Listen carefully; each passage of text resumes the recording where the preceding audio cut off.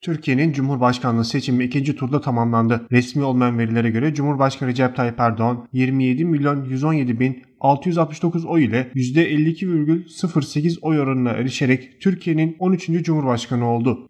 Türkiye'yi çok seviyoruz.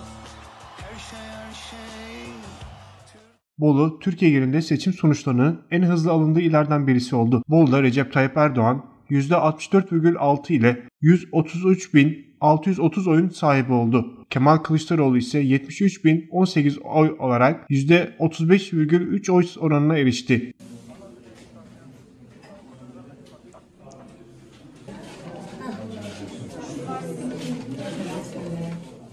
Bolu'nun ilçelerinde de seçimi önde götüren Recep Tayyip Erdoğan oldu. Bolu merkez ilçede resmi olmayan verilere göre Erdoğan 77.900 oy olarak %57,8 oy oranına sahip oldu. Kılıçdaroğlu ise 56.687 oy ile %42,1'lik oranla seçimi tamamladı.